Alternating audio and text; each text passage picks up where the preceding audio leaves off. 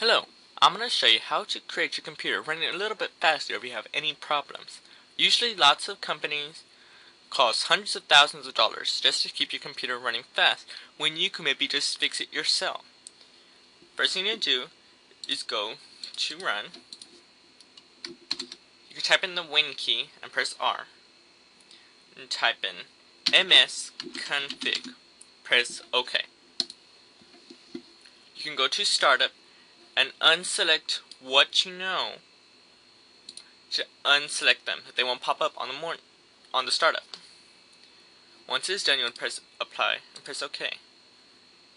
Next, you would have to press restart, but I'm not going to. Next thing you need to do is right click on your properties on the computer and select Advanced System Settings.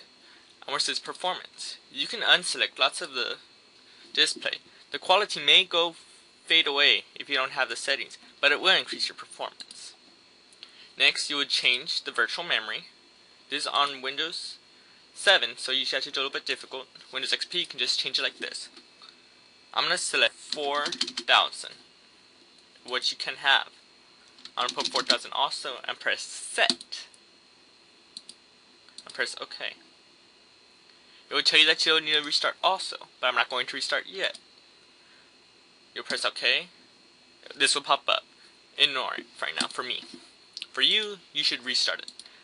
Once everything is done, it is also even better if you go to Control Panel and go to Program and Features and unselect programs that you don't even use or some ones that came on when you accidentally installed it from other applications.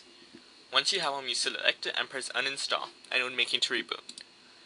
Out of doing these simple few little steps, you can increase your performance at least 35 uh, percentage faster. Thank you for watching.